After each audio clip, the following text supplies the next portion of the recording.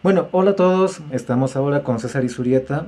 Él es parte de la ADVEC, de la, de la Asociación de Desarrolladores de Videojuegos del Ecuador, y este también es un desarrollador de videojuegos.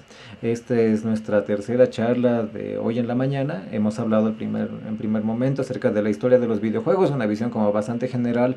Luego con David Chan hemos hablado acerca de la propiedad intelectual, este mundo tan apasionante para poder ah, este, crecer más dentro de tu estudio de videojuegos. Y ahora vamos a hablar con César sobre los pipelines de creación de videojuegos. César, cuéntanos un poco acerca de ti, ¿a qué te dedicas? Hola, buenos días, Iván, ¿cómo estás? Y buenos días a todos los que nos están viendo. Eh, bueno, yo soy desarrollador de videojuegos. Eh, me he estado, ahora tengo un estudio aquí en Ecuador con el que estamos desarrollando videojuegos precisamente Adver Games, eh, juegos serios, pero también estamos acabando un primer juego con fondos del Ministerio de Cultura, que fueron parte de un premio que ganamos el año pasado eh, de los fondos de fomento. Y bueno, junto con Iván y otras personas hemos estado llevando adelante ADEVEC, que es la Asociación de Desarrolladores de Videojuegos Ecuatorianos, donde nos reunimos un poco para conversar sobre lo que es hacer juegos aquí en Ecuador, la industria. Estamos también teniendo algunas iniciativas en especialmente iniciativas con el gobierno, buscando ese apoyo de parte de, del gobierno, ¿no? De, los ministerios, del Ministerio de Educación, de Cultura, también de la parte de, los incentivos fiscales. Entonces tenemos algunos proyectos que lo están llevando distintos miembros de ADEBEC, tratando de, buscar que la producción de videojuegos dentro del Ecuador sea algo viable, que sea algo que, nos, que sea posible tener un plan a largo plazo que nos permita crecer. Genial, muchísimas gracias César. Y ahora, a ver, este, tu charla es acerca de pipelines de producción de videojuegos. Eh, te dejo con toda la, la pantalla para ti. Muchas gracias. Bueno, yo quería conversarles un poco sobre lo que es los pipelines de producción de videojuegos. ¿Qué, qué, primero quisiera comenzar como, ¿qué, ¿qué, significa un pipeline o cuáles son los pipelines de producción de videojuegos? Nosotros tenemos dentro del proceso de la producción de los videojuegos que convertir nuestras ideas en una realidad. O sea, coger una idea, digamos, de tenemos un personaje que va a tener una, un aspecto visual, va a tener un aspecto sonoro del personaje, va a tener una, una lógica de cómo tiene que funcionar y tenemos que convertir todas estas ideas en algo que se pueda jugar, algo que entre dentro de un motor de videojuegos o como lo, lo implementemos y que llegue al jugador y que el jugador pueda recibir esa idea que nosotros teníamos en, en, en la cabeza. Bueno, como ya les conté un poco, yo soy César Isurieta, eh, ahí están en todas las redes sociales, me encuentran como César Isu, no soy muy activo, pero a veces eh, publicar. Y mi mail está aquí, que es cesar.isurieta.adb.es. Pueden escribirme cuando necesiten eh, cualquier duda, preguntas. También estamos siempre dentro, si entran en la página de adb.es, está una invitación también a Discord y otras redes sociales de ADB, donde siempre nos estamos reuniendo para conversar de, como les dije, de todas estas cosas que son la, producción de videojuegos en Ecuador.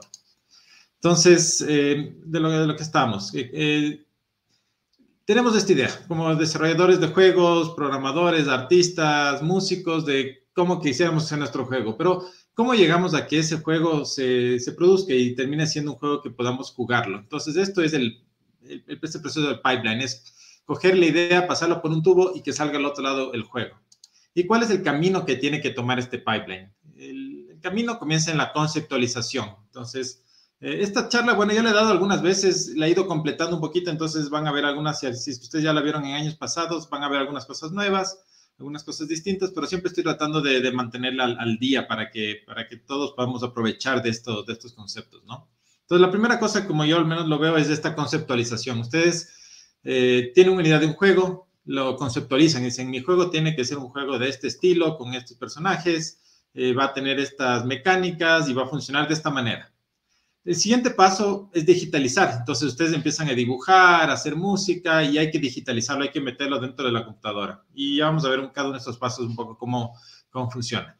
Una vez que ustedes lo han digitalizado, hay que prepararlo para poderlo integrar dentro del, del motor. Entonces esta preparación es una, es una preparación muy técnica. Hay que dejarlo eh, muy, muy claro el, el, el proceso que, que, se tiene que llevar para que pueda ser integrado dentro de un, de un motor de videojuegos motor de videojuegos puede ser cualquier motor de videojuegos como Godot o Unity, eh, Unreal o muchos de estos, muchos otros motores que existen, para finalmente poder hacer el delivery, que significa llevar este, este juego ya al usuario final. Entonces, hay, estos son unos pasos un poco, digamos, simplificados de cómo se hace la, la producción. Pero a veces es interesante tal vez pensarlo al revés, pensar desde el delivery para atrás, o sea, pensar a quién voy a llegar, cómo voy a llegar. Eh, si yo, por ejemplo, voy a hacer un juego para, para, celulares, es distinto si lo voy a hacer para consolas. Entonces, tal vez la parte de cómo lo voy a integrar, con qué motor y cómo tengo que preparar estos assets va a ser distinto. Entonces, yo tengo que hacer para una pantalla pequeña de, digamos, de un smartwatch, no voy a hacer lo mismo de, de assets si voy a hacer un juego 3D AAA para una consola. Entonces, todo eso es, es algo que uno tal vez es interesante a veces pensarlo desde el final para saber qué es lo que uno tiene que, realizar. Entonces vamos a comenzar en el primer punto por lo que es la conceptualización. Entonces la conceptualización es, toda la primera parte del desarrollo del juego, es donde nosotros hacemos la preproducción y el concept art. La preproducción es simplemente empezar a definir cómo van a funcionar las cosas, empezar a hacer bosquejos de lo que se puede hacer, eh, de escribir en, papel las ideas, empezar a reunirse con las personas y, toda esta parte muy creativa de cómo el, cómo el juego va a funcionar, eh, poner adelante las mecánicas, pensarlas, modificarlas, tal vez hacer pruebas eh, solo en papel con las personas para ver cómo funciona el juego. Por ejemplo, se pueden hacer character concepts, que sería coger un personaje y crear un concepto de este personaje, distintas variaciones, buscar cómo se debería ver y dibujarlo para ver cómo podría funcionar. Esto es parte de un juego que realicé hace algunos años, Deadly Burrito, donde está el, digamos, este es el, el, mayor de los jefes y pasó por algunas iteraciones y este ya fue realmente la hoja donde, se, donde, donde podemos ver cómo el, personaje va a verse. Este es un personaje en tres dimensiones Aquí en esta hoja está simplemente en dos dimensiones, entonces por eso es un, concepto de cómo debería verse el personaje. Podemos tener también, por ejemplo, character sheets, que en este caso eh, muy bien para los juegos que tienen más habilidades o que donde uno necesita un, poco más de, complejidad de los personajes. Entonces uno puede crear una, una, una, hoja donde uno pone, por ejemplo, cuánta vida tiene, su energía, cómo va a crecer una experiencia, tal vez un poco la historia del personaje, eh, cosas especiales que puede hacer, también darle, dibujarle un poquito. Eh, todo esto es, parte de, de, esta preproducción, de hacer de los personajes. Uno puede hacer lo mismo también para los, los ambientes. Entonces uno dice, bueno, este, este ambiente, este escenario va a verse de esta manera, vamos a tener estos elementos, más o menos van a ver estos colores. Eh, uno podría dibujar, por ejemplo, un mapa del lugar donde va, cómo va a funcionar, dónde van a estar las, los diferentes lugares de, de interés dentro de estos mapas. Eh, y también por se puede hacer de, digamos, si es que es un juego de mesa que no, no, tienen, no tienen, digamos, un lugar físico donde se camina, también se puede tal vez ya diseñar los, los rompecabezas que se van a resolver. Entonces, esto es un poquito lo que se va haciendo en, la preproducción, los concept arts. Una vez que se tiene esto listo, eh, bueno, hay, hay, algunos pasos, obviamente es un poquito más complejo que eso, pero se pasa lo que es la digitalización, ¿ya?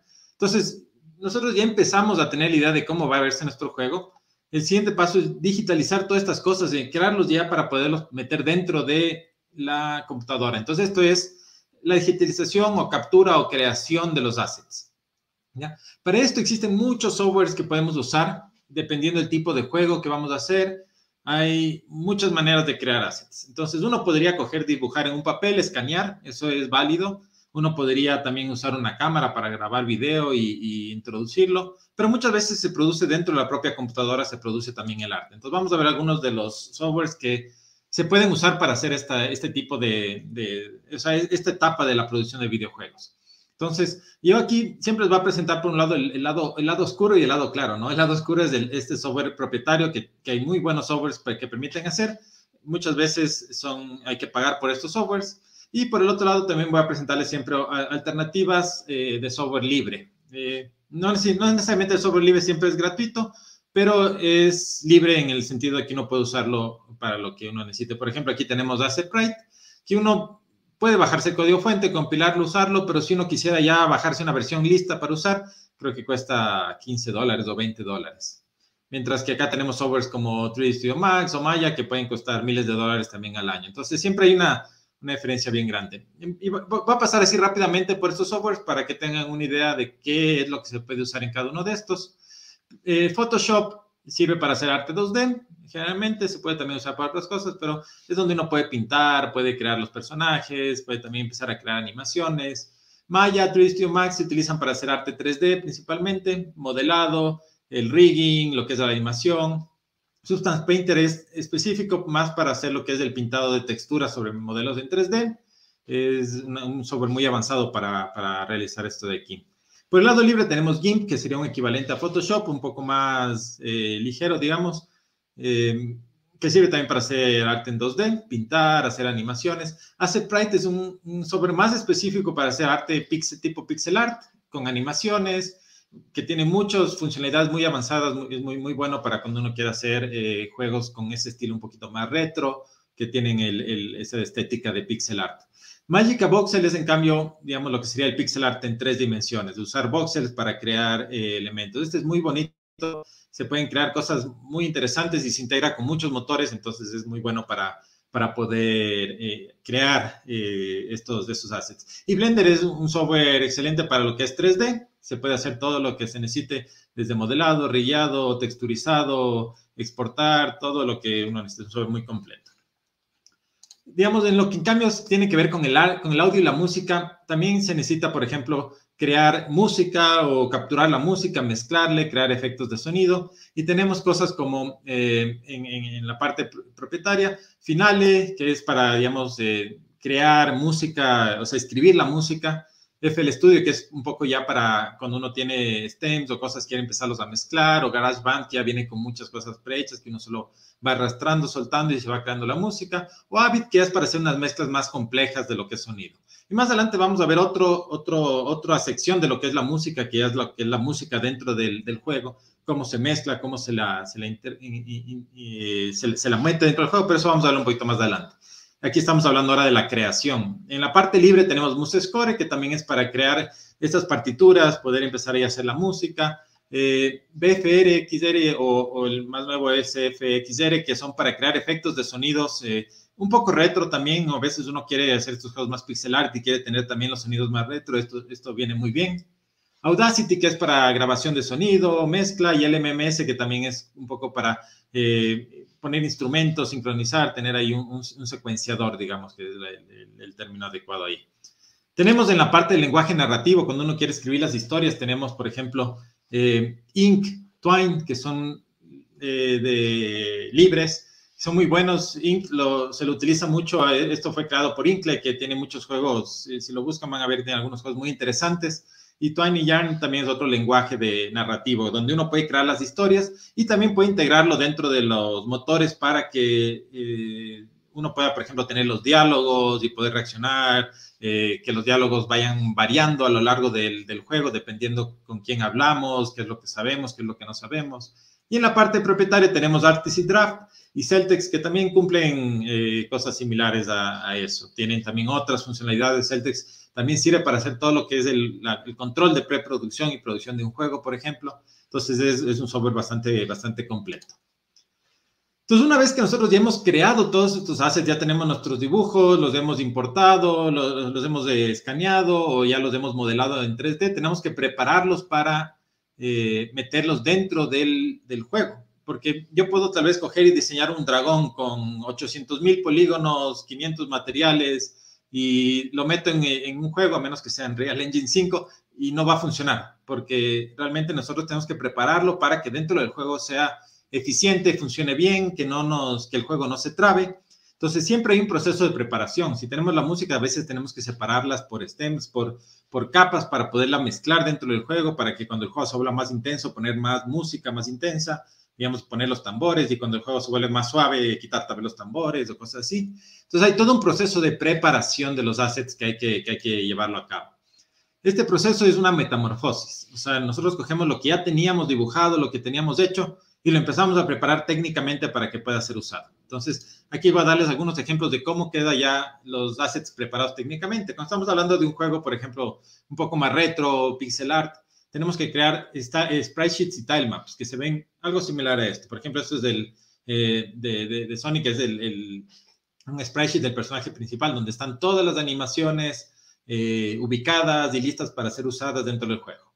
Entonces, Esta es la manera, por ejemplo, en la que se cargaría dentro de un motor. Hay otras maneras, obviamente, no es la única, pero es una de las maneras y especialmente la manera en la que se cargaba anteriormente, aunque ahora todos los motores soportan sprite sheets, soportan tile, tile maps, atlas, que son un montón de estos términos de cómo uno prepara estos, estas animaciones para meterlas dentro de un motor.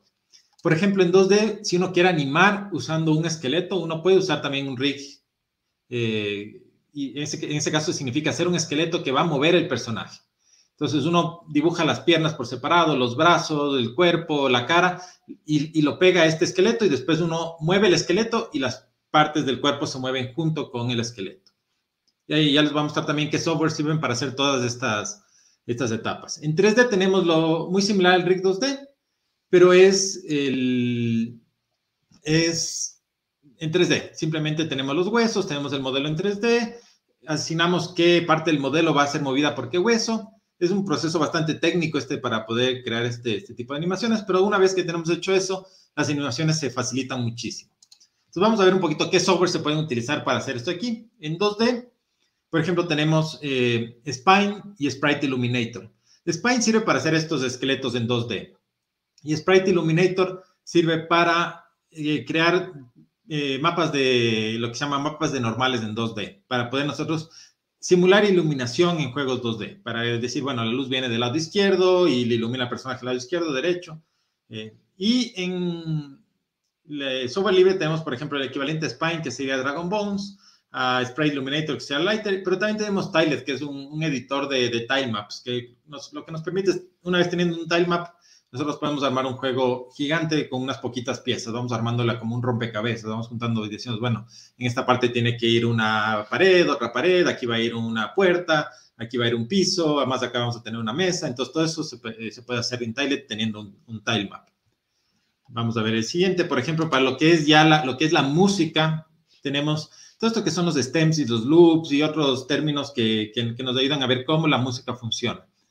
Eh, entonces, realmente lo que uno hace para la música es tratar de, crear un, un, ambiente musical y un ambiente sonoro, y para eso tenemos que mezclarlo de alguna manera dentro del juego.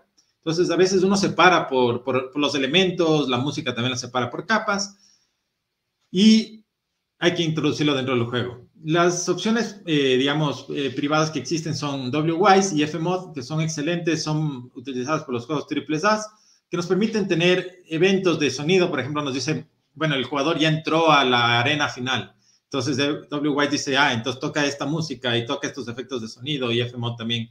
Y tenemos en la parte libre, eh, es algo que aún no se ha desarrollado mucho, pero ya existen algunos algunos elementos que han empezado a salir este año realmente, algunos otros son un poquito más, más antiguos, por ejemplo, está Solout, que, nos da una, facilidad de mezclar sonidos, de tener varias capas. Godot Mixing Desk, que es específico para, el, este, eh, para Godot, que es de, este, eh, nos permite mezclar la, igual a diferentes músicas, hacer crossfades, o sea, audio que es un poquito más de bajo nivel para poder hacer en programación estas cosas.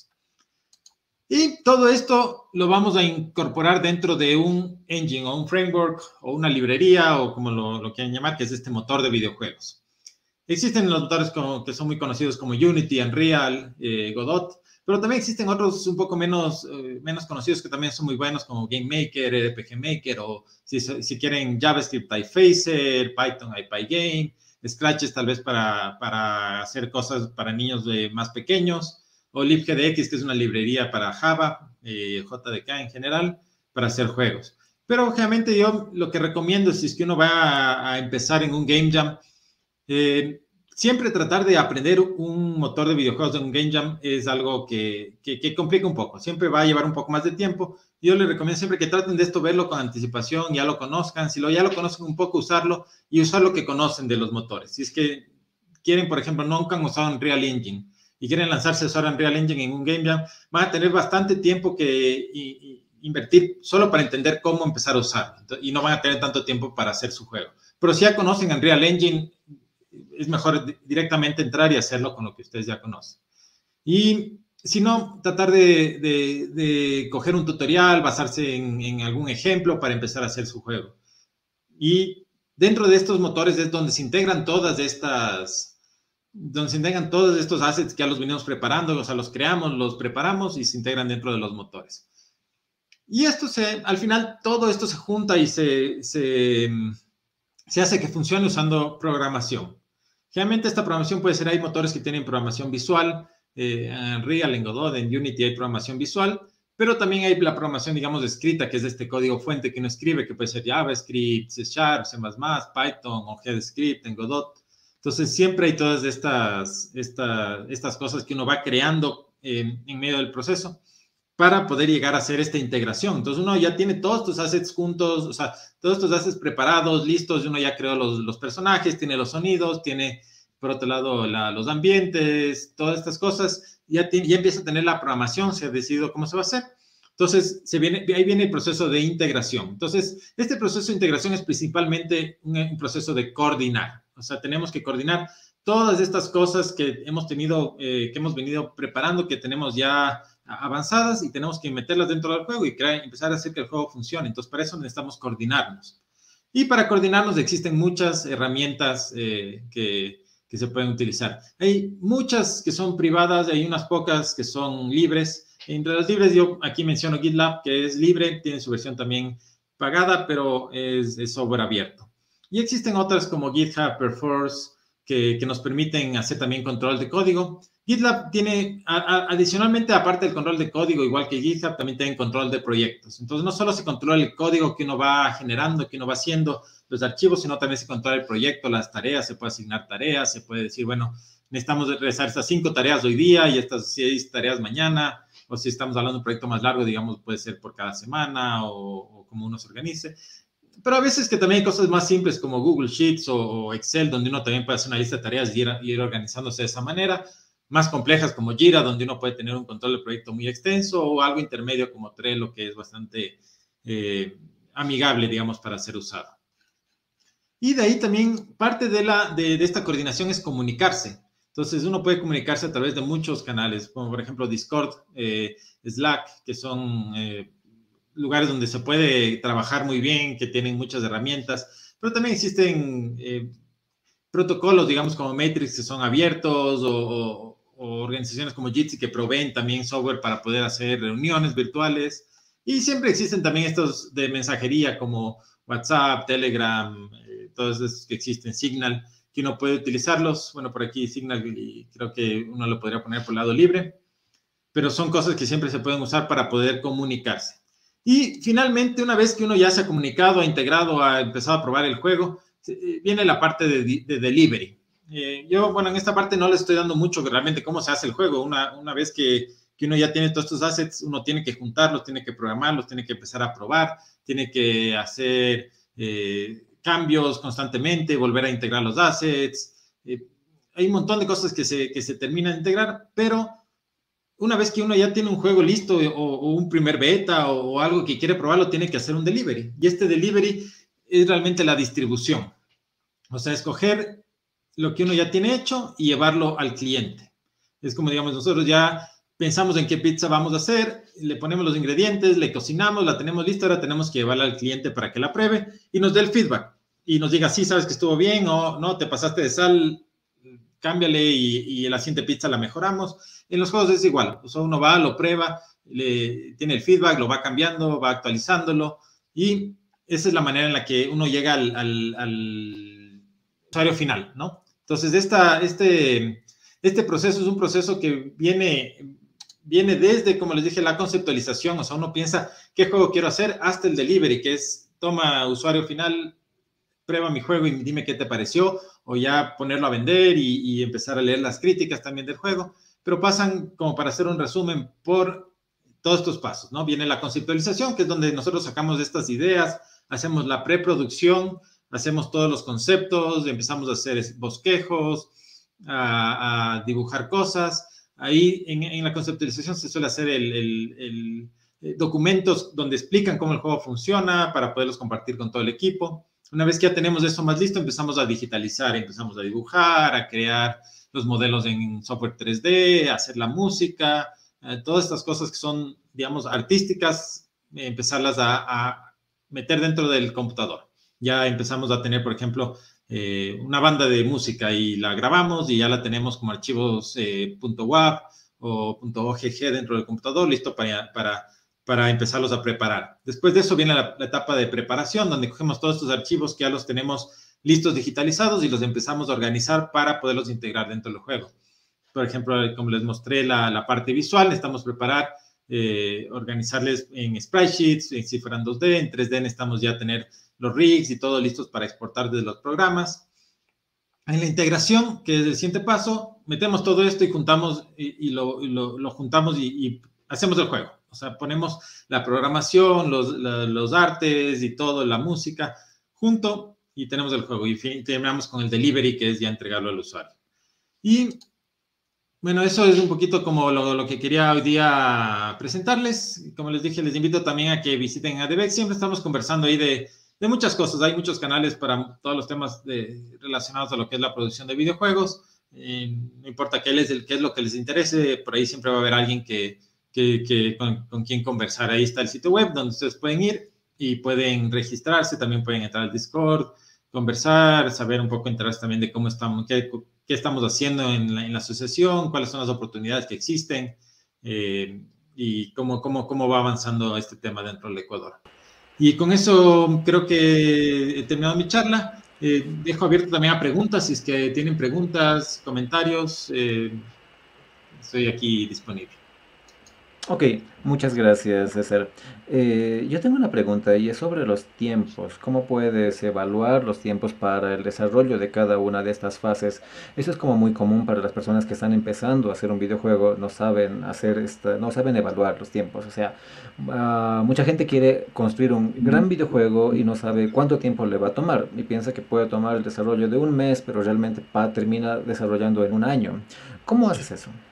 Entonces, una de las cosas es que en el proceso de conceptualización, en, el, en, todo lo que es la preproducción, uno ya tiene que tener claro todo lo que tiene que hacer. Entonces yo tengo que saber, por ejemplo, que voy a tener 16 personajes y cada personaje va a tener 40 animaciones y cada animación va a tener 10 cuadros. Entonces yo multiplico y me salen 2.500 dibujos. ¿Ya? Entonces yo digo, bueno, si yo tengo un artista y, cada, y este artista logra hacer un dibujo cada, cada 30 minutos, esto me va a tomar 400 horas de, dibujo.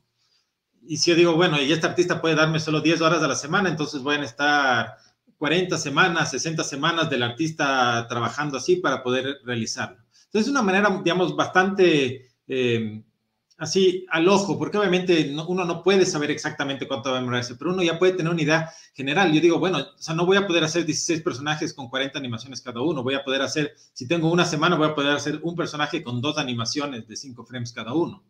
Y más o menos viendo de esa manera. Igual en la música, digo, bueno, quiero poner, voy a estar a la Orquesta Sinfónica Nacional para, para hacer esto de aquí y van a estar seis ensayos y los ensayos tienen que ser cada dos semanas y va a demorarse igual, cinco meses. Otra vez digo, no, voy a coger a dos amigos, voy a grabar con, con estos dos amigos que tienen que saben tocar la guitarra, los bongos, y capaz hago en dos sesiones de grabación, en dos días grabo la música. Entonces, esto es, digamos, uno tiene que en la preproducción tratar de tener una lista de todo lo que tiene que hacer, qué personajes, qué ambientes, qué mecánicas hay que implementar, qué músicas, qué sonidos se va a hacer y tratar de medir bajo esta lista. Entonces decir, bueno, esta lista más o menos yo pienso que esto se va a demorar tanto, esto yo pienso que se va a demorar tanto. Sumar, ver qué personas se tienen disponibles dentro del proyecto. No siempre más personas significa que uno vaya a ser más rápido, ¿no? Pero hay veces que sí. Si uno tiene 40 personajes y 80 de animaciones, tal vez tener muchos dibujantes va a ayudar. Si uno tal vez tiene música muy larga, nuestro juego va a durar 5 horas y vamos a tener música muy larga y queremos que todo sea hecho por un solo eh, violinista, ahí vamos a tener un cuello de botella, entonces tenemos que saber que ese violinista va a tener que estar grabando toda la música y no vamos a poder poner más violinistas porque si no tal vez no va a coincidir bien los sonidos, no sé, eso es parte de cómo tal vez se puede organizar en la preproducción, justo en esta etapa de conceptualización, poder medir el tamaño del proyecto y ajustarnos y decir, bueno, voy a hacer un game jam que me va a demorar tres días, voy a tener 20, 25 horas, 30 horas de tiempo. Entonces tengo que ver qué es lo que voy a alcanzar a hacer en ese tiempo. Voy a eh, conversar, si es que yo soy el productor del juego, porque siempre hay esta persona que toma un poquito el papel de productor, ¿no? voy a preguntarle al artista, oye, ¿será que tú alcanzas a hacer este personaje, este personaje y este personaje en estos días y entregarlos porque necesitamos esto integrarlo? Entonces necesitamos que esto esté, yo que sé, listo el máximo el domingo a las 5 de la tarde. Y entonces, si no, solo va a alcanzar, alcanzo a hacer dos. Entonces se adapta un poquito el juego para decir, bueno, hagamos solo con dos en vez de con tres. Eh, y igual, hablar con el programador, oye, tenemos que programar esta mecánica, esta mecánica, esta mecánica, y el programador decir, está mucho, o no, va a decir, no, sí, sí, esto ya, incluso ya lo tengo hecho, tratemos de complicarle un poquito veamos qué más se puede hacer. Entonces, eso de, de, tener eh, la, la, coordinación, poder ver qué es lo que se va a hacer en la conceptualización y tratar de hacerlo lo más pronto posible, al inicio del juego, no cuando uno ya está más avanzado porque es más difícil cambiarlo. Sí, esa es una cosa que siempre se recomienda, ¿no? Darle bastante tiempo a la preproducción por sobre la producción. Y ese es un error común que ocurre con los desarrolladores que están iniciando, que quieren meterse de una e intentar reparar este, errores de, de preproducción dentro de la propia producción. Y eso termina haciendo que los, que los tiempos se alarguen bastante o que cambien completamente todo el enfoque. Y una pregunta en relación a eso, o sea, ya teniendo en cuenta como las condiciones locales y las condiciones de presupuesto y de las, este, la disponibilidad de, de capital humano que tenemos, para un videojuego indie, porque muchas de las personas que quieren, que están acá, quieren empezar a desarrollar algo, ¿no? Pero tienen como objetivos demasiado grandes o tienen expectativas enormes para desarrollar. ¿Qué es lo que recomendarías hacer? ¿Cómo empezar? ¿Y cuánto tiempo dedicar para un desarrollo inicial? Ya. Una de las cosas que hay que tomar en cuenta es que depende del género que uno quiera trabajar, va a haber diferentes maneras en las que uno podría medir el tamaño del juego que uno podría hacer. Entonces, por ejemplo, si uno va a hacer un juego de estrategia, eh, donde va a tener varios equipos donde van a tener muchos personajes cada equipo. Uno va a demorarse más que si uno va a hacer un juego, por ejemplo, de, un rompecabezas especial, digamos, voy a inventarme que, en el que se utiliza agua y, cosas que flotan para poder ir resolviendo rompecabezas. Tal vez ahí uno va a tener poquitos assets y va a poder hacer un juego un poco más largo que, que tal vez el de estrategia, con los mismos recursos, ¿no? Entonces uno primero tiene que entender qué género va a querer hacer. Y yo algo que siempre trato de ver es ver qué es lo que han hecho otros estudios. O sea, decir, bueno, es un juego de estrategia, ¿qué han hecho otros estudios indies de estrategia? Y veo un juego que hayan sacado y veo, ah, sacaron ese juego, se demoraron tres años. Y uno dice, pero ¿por qué se demoraron tres años si es que es un juego simple?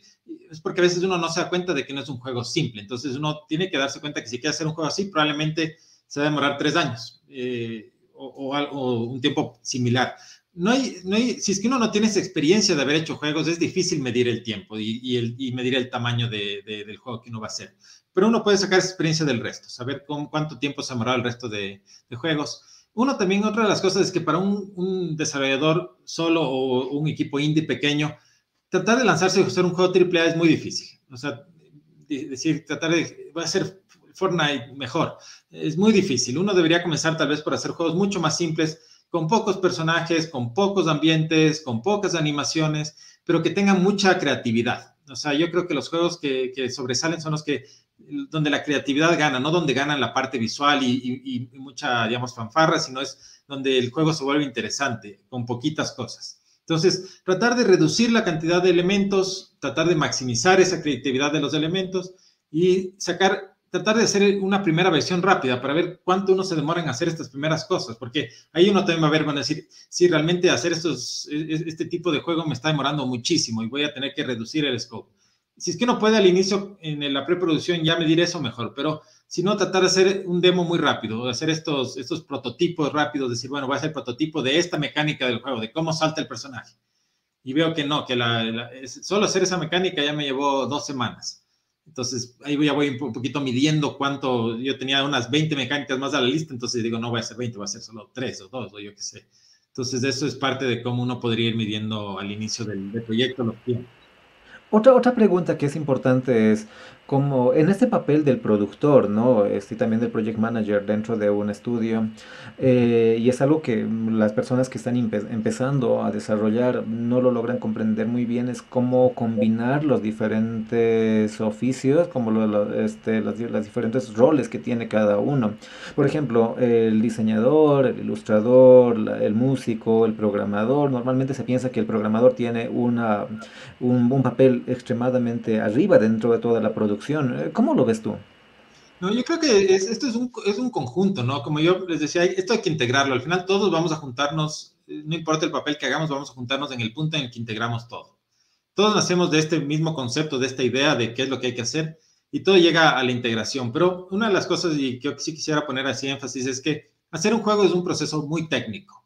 Eh, hay mucho arte, hay mucha creatividad, pero llega el punto en el que se vuelve un proceso muy técnico. Entonces, los artistas que, logran tener éxito dentro del mundo de videojuegos son artistas que pueden entender esta parte técnica, que entienden cómo tienen que preparar sus dibujos, sus modelos, sus texturas, sus ambientes, eh, su música, para poder ser integrada. Entonces, eso es, algo importante. Yo creo que eso, permite que la integración funcione bien y que desde el inicio no se tenga que rehacer, porque puede ser que un artista se puede hacer muchas cosas y le toca repetir porque no logró llegar a integrarlo correctamente, porque no estaba preparado técnicamente como tenía que estar preparado esos assets. Tal vez, por ejemplo, estamos haciendo un juego para una pantalla Full HD que es 1920 por 1080. Y yo mi personaje lo dibujo de 25 píxeles, pero tenía que verse de la mitad de la pantalla.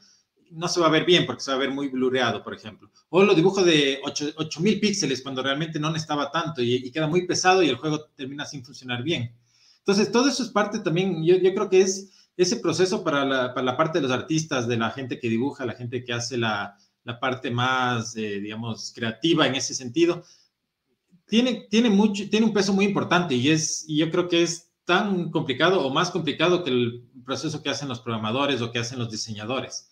Los diseñadores también es un, es un papel que casi nunca se lo toma en cuenta y, y, a veces se lo deja al azar, que es esto de diseñar el juego, cómo el juego va a funcionar, cuáles van a ser las reglas qué es lo que se va a poner, es un papel también bastante complicado, es algo que también se lo tiene que hacer técnicamente, porque uno tiene que poder describir estas reglas y puede, tiene que al final poder convertirlas en tanto visualmente en, en, assets visuales como en la parte de la lógica de la programación. Entonces uno tiene que poder, como diseñador, poder presentar esto a, a, al programador, a los artistas, para que sepan cómo va a funcionar el juego y eso es parte de, de, de esa preparación técnica.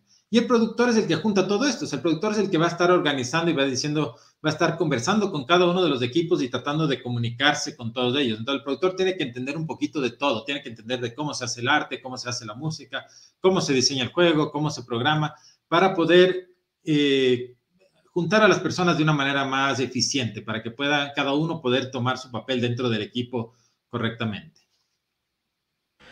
Bueno, muchísimas gracias César, ya hemos acabado con el tiempo y nada, me ha sido encantador escucharte y también las recomendaciones que diste a todas las personas que están participando y a las personas que quieren animarse a entrar en esta industria. Muchas gracias. No, no, gracias también a ti, Iván, y al Global Game Jam por esa oportunidad. Eh, creo que esto es el, uno de los mejores lugares donde uno puede aprender a hacer juegos. Eh, se tiene poco tiempo, mucha presión, pero es muy divertido. Entonces yo les deseo a todos muy buena suerte y estoy también ansioso de ver cuál es el resultado de, de, de lo que logren hacer en este Game Jam. Muchas gracias. Sí, ya mañana vamos a presentar los juegos. Muchas gracias, César. Adiós.